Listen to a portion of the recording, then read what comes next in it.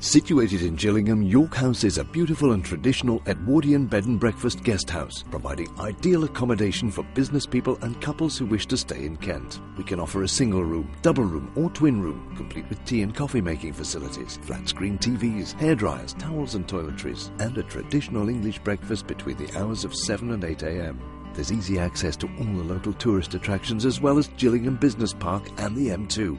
For bookings and information, email us or call us at York House